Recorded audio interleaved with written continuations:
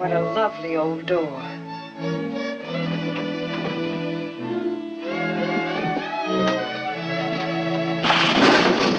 Oh, Bill, darling. Fine wood they used in the Revolution.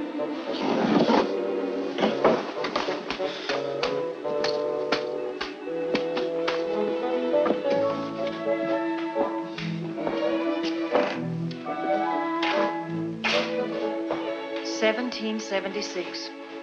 Just think, Bill, George Washington slept here. George Washington. Martha wasn't a very good housekeeper, was she? Look at that fireplace. That's a Dutch oven. Hmm. Oh, and these wonderful old timbers. They really knew how to build houses in those days. Uh-huh.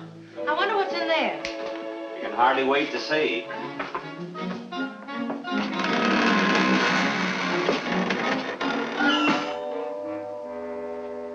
Oh, hello, Mr. Kimber. This is my husband. I've been showing him through the house. Careful of them upstairs floors, ma'am. One of them caved in last month. Oh, yes. Mr. Kimber's the caretaker. Oh.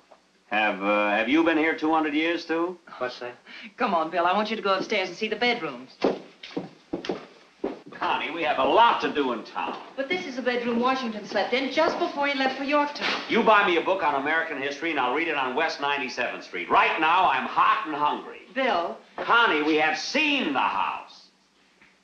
Bill, I bought it.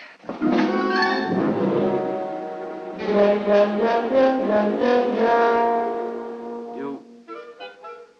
What was that? Yes, I bought the place. It's ours.